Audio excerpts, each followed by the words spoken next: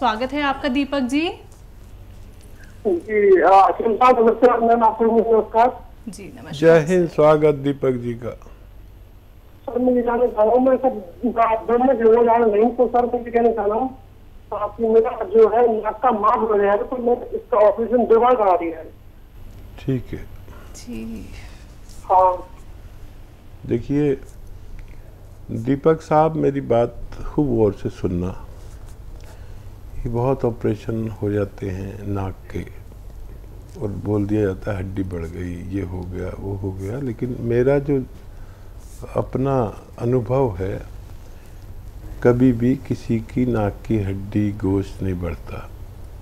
और होता क्या है कि हमारे नाक में ग्लैंड्स हैं।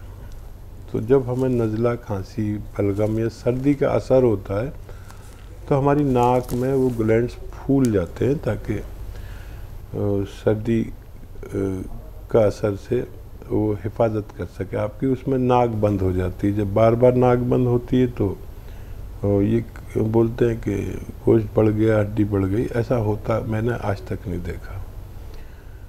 तो इसका इलाज के लिए हमें अपने सर्दी का इलाज करना होता है। सर्दी, खांसी, बलगम, छींकें जिन्हें आती हैं, उसमें रोग प्रतिरोधक शक्ति कम होती है तो रोग प्रतिरोधक शक्ति बढ़ा लें, खट्टी चीज़ें खाना बंद कर दें। एक नुस्खा जो अभी कावेरी जी बता रही थी, उनके बच्चे को था, वो नुस्खा आप ले सकते हैं।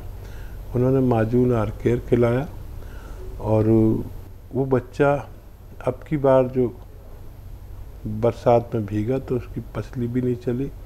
और उसको छींके, खांसी, बलगम, ये सब बीमारी उसी से जा सकती है। वो एक मुजरब नुस्खा है और उसमें जो मैं घरेलू नुस्खा बताता हूँ, वो ये है कि सपिस्तान उन्नाब अलसी।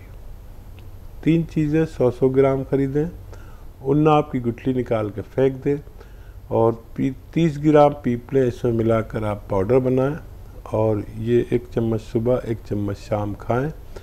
और भगवान से मदद मांगें, गर्म पानी इस्तेमाल करें, खट्टी चीज़ों से परहेज़ करें, दूध तक ना पिए। दूध भी ऐसे मरीज़ को नुकसान देता है और ये पाँच छः महीने नस्खा खाने से आपको फ़ायदा भगवान दे सकता है।